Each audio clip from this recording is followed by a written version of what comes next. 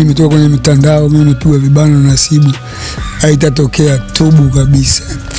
Kiukweli tusemeni astaghfirullah, astaghfirullah, astaghfirullah, astaghfirullah. Hiyo ndio kama kawaida, samaki kufuatwa na nzi ndio kawaida yake, au kitu kilichooza kufuatwa na nzi ni kawaida yake.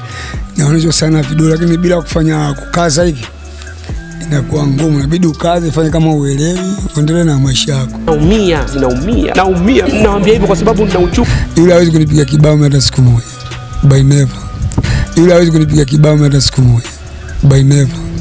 Kiukweli tusemeni astaghfirullah, astaghfirullah, astaghfirullah, astaghfirullah. Yes, bado tuko na mzee Abduli tunapiga naye story kuhusiana na lifestyle mpya mtaani, ishu zake. Bado mzee Abduli unajishughulisha na ishu za kuuza midundo. Ah, Hiyo ndo mama yangu ndo baba yangu, ndo nafanya mimi niishi vizuri na familia yangu. Tabajaribu kubadilisha mboga kwa ajili ya kitu kama hicho. Sina ishu ingine zaidi ya kutegemea zaidi hicho. Na hakuna changamoto yote pengine unapotoka kwenda kutafuta e, viatu barabarani huko. Mzee Abdul ule mzee Abdul hii inakaeje? Ah, Hiyo ndio kama kawaida, samaki kufuatwa na nzi ndio kawaida yake, au kitu kilichooza kufuatwa na nzi ni kawaida yake. Naonyeshwa sana vidole lakini bila kufanya kukaza hivi inakuwa ngumu, inabidi ukaze, fanye kama uelewi, uendelee na maisha yako. Sababu mimi kushauri mtu wa kiume anatakiwa ukaze, si Hakuna labda namna yote mzee Abdul, unajilaumu kwamba hai jambo lisingetokea, mbona hata maisha zangu haziendi? Siwezi nikajilaumu kwa sababu mimi sijafanya kosa. Kama itakiwa isivyotokea wenyewe walivyoamua, itakiwa hata mimi niite kifamili, wangeniambia kiundani, isingetokea. Si kama waliamua kunizalilisha, basi ndio imetokea kwa hivi. Aliyopokea kalipokea, sio alipokea, basi tunaendelea na maisha. Kuna baadhi ya watu walifurahi sana kuona mzee Abduli e, amezungumza kwamba alipewa mkono haidi na kijana wake. Watu walifurahishwa sana, watu walitoa hata pongezi. Hawa tunawaambiaje? Ah, na wengine hata hivyo, kuna wengine wamenitukana sana, kuna wengine wanaambia mzee sijui ana mwelekeo, wengine hivi, lakini chochote cha kupewa huwezi ukakataa, hasa katika vitu vaidi, vitu vaidi, vitu vya kawaida. Maneno yanakuwaga yapo, hata kagombana na mke wako, kagombana na mtoto wako, lakini baadaye kurudisha moyo nafsi. Na kuna watu wengi waliofungwa jela, usitegemee kama wameenda jela wote wamefanya makosa, kutokana na hasira, baadaye anajilaumu, na wengine hawana makosa. Ni vitu vya kawaida vinatokea kwenye dunia, ni vitu vya kawaida vinatokea kwenye dunia. Kupata mitihani basi. Okay, kuna baadhi ya watu wengine walisema kwamba kutokana na hili jambo lilivyotokea mzee Abduli hata angekataa mkono haidi. Pengine kwako mzee na busara zako, kwa nini kukataa? Mimi mtu wa busara, ni mtu wa kujielewa na kujitambua. Hasira ni hasara. Mtoto akikunyia mkono wezi ukaukatia ukaukata mkono. Ni vitu ambavyo vilivyotokea, ikawa nkaja nkafikiria, nkaja nkaona aina haina haja, siwezi nikakataa nachopewa kusema kweli. Na sikukuu ni vitu vya kupeana. Sasa kama utapokataa mkono wa utakataa sunna za Mwenyezi Mungu kusema kweli. Ni vitu vya kawaida, mapito, kwa sababu leo tubo, kesho atubu, vote tunaviacha na alinipa kwa roho moyo, singeweza kukataa kusema kweli. Ingekuwa kwamba kama kashiwa fulani, sime sinaga hizo. Kisha akawa umeona imetokea itokea, niliona kiundani kwamba yeye anakosa, anajitambua, kuna kiundani fulani, kuna kitu fulani kinafanyika. Mimi niliamua kufanya hivyo, nikapokea, haina matatizo, kwa sababu mimi washajua kitu gani kinachoendelea, kwa sababu angekuwa na nazi na samani ya mimi asingenifanya kitu kama hicho, lakini anajua yeye mwenyewe kitu gani kilivyo, lakini sasa kwa sababu kishabenzi sehemu moja, aweza kamwangusha yule mtu wake. Ibidi mimi nimefanya kitu kama mimi, na mimi nimemchukulia kama mimi ni mtu wangu, basi nimepokea, haina matatizo. Okay, kuna baadhi ya watu wanasema pia kwamba eh, kijana alienda nje kushindanisha tuzo za BET lakini akakosa.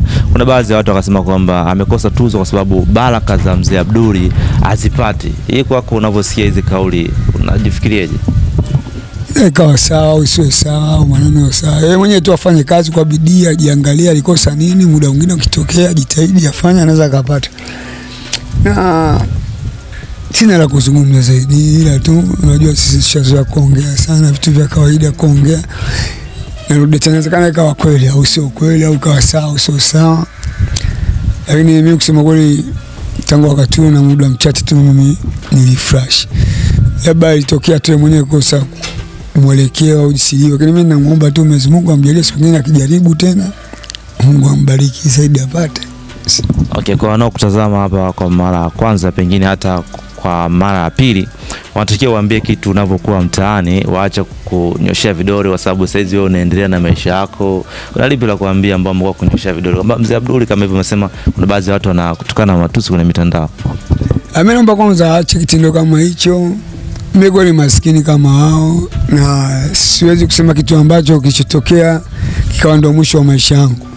Yaliyopita yamepita. Kuna watu wamefanya mengi mabaya au mazuri zaidi ya mimi, ila naomba tu waniache kama waniache, tuwe kama pamoja tu. Maisha leo tupo, kesho hatupo. Kuna kifo kipo kinatujulia, tuwe pamoja.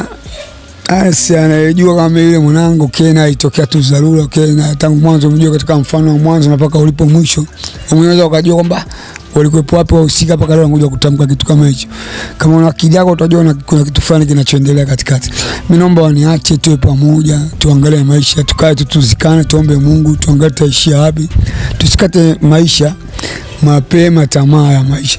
Hata yeye mwenyewe amejitahidi, alitoka mbali mpaka alipofikia, ni vitu vya kawaida kimaisha, na sisi tuseme kwamba hata kama hayupo, alikuwa hayupo, ndio maisha yangu ingekuwa haya yani hata kama angekuwa sio kama vile basi angekuwa kuja mgongo wangu mimi maisha na mimi ndio angekuwa naishi. Yeye.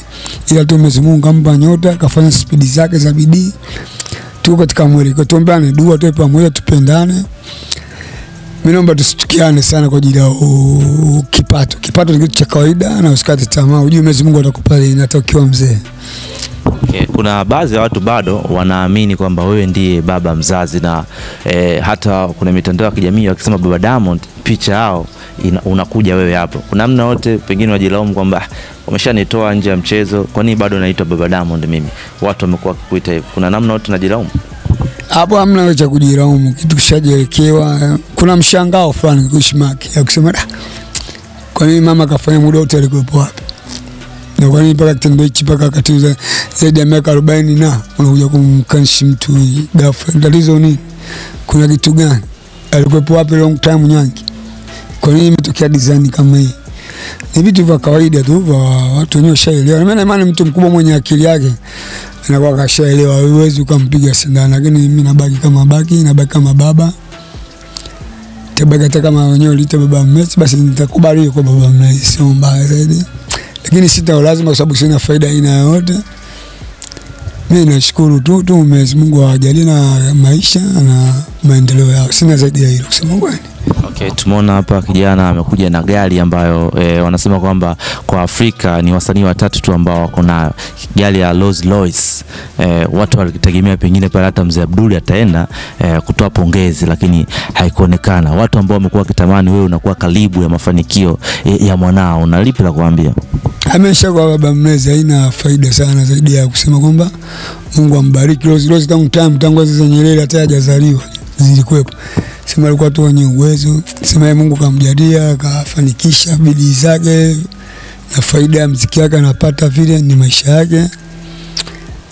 Eh, Mimi lazima nitampa hongera kwa sababu kafanya cha kufanya mwenyewe, alikuwa na malengo yake.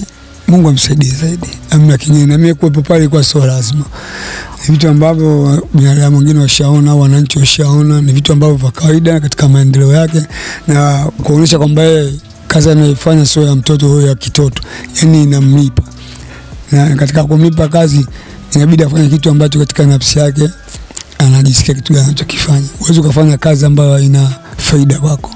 Kwa hiyo ndio faida yake, ni maendeleo yake. Hata anapa hata wengine, watu wengine wajue kwamba ile kazi anaifanya kumbe ina umuhimu, ina busara kwake. Kulikuwa na hili hapa ambalo pia linazungumziwa kwamba eh, Konde ambaye ni Harmonize kwamba mzee Buli ulikutana naye na alikusaidia. Hii ilikuwa nazungumziwa sana kwenye mitandao ya kijamii. Kuna ukweli? Ai, sijai kukutana naye, sijai kukutana naye. Na ilikuwa imevuma sana kwenye mitandao ya kijamii kwamba Harmonize alionyesha e, ishara ya kutaka kusaidia. Sasa watu wanashangaa kusema kwamba mzee Abdul anasema ukutana na ukutana hata kidogo na Harmonize. Kusema kweli sijakutana naye. Kuna mambo mengi tu yanazungumzwa, sijakutana naye, na kuna watu sio nadai, sijui imetoka kwenye mitandao, mimi nimepigwa vibano na Nasibu. Haitatokea, tubu kabisa. Yule hawezi kunipiga kibao hata siku moja, by never.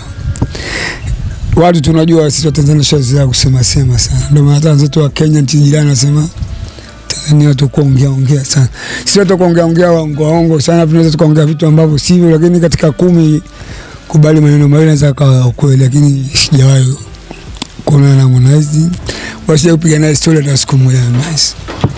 Watu ambao wamekuwa wakizusha hizi taarifa kwamba haya Mzee Abduli amesaidiwa na Harmonize, Mzee Abduli amekutana na Alikiba, unahisi ni kwa nini wanatengeneza hizi drama?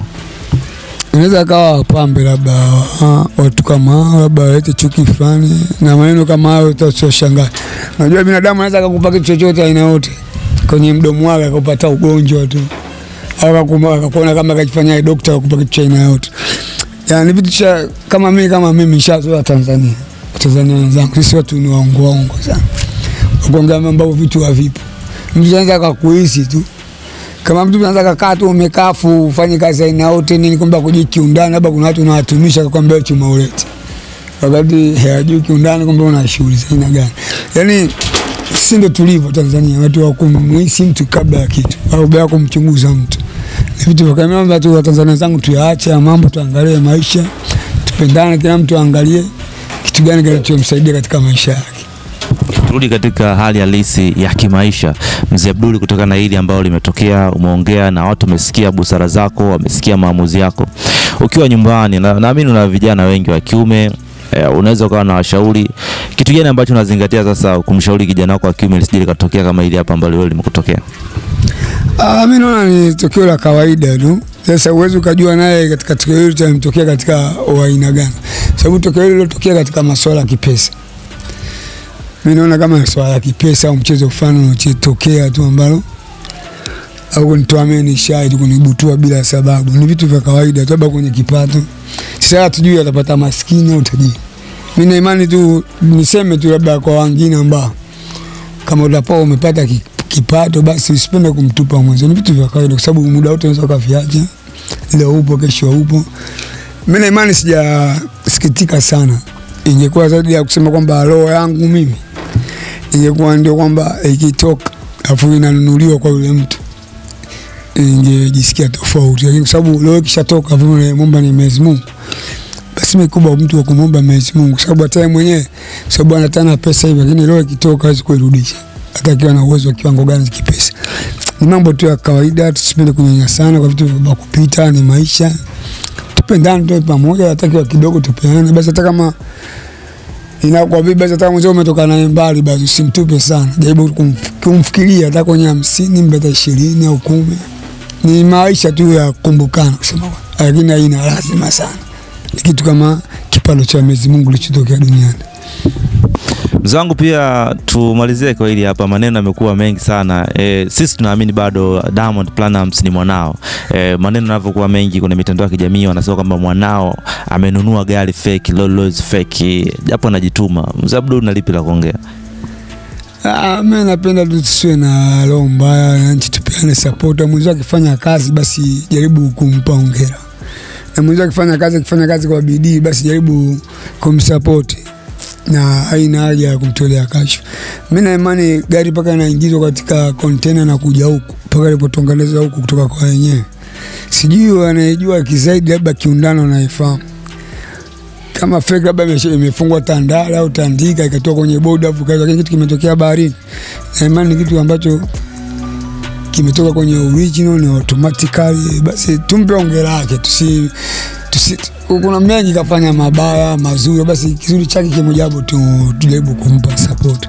Mimi na imani ni katika maendeleo, kutaka kuwapa wenzie wajao nao wafanye kama anavyofanya, afanya mifano hiyo. Tusichukiane sana jamani, tusichukiane sana tupendane, vitu vingine mwenzio anataka kufanya kizuri, basi tu najaribu kumpa mwenzio support azidi kuendelea kimaisha.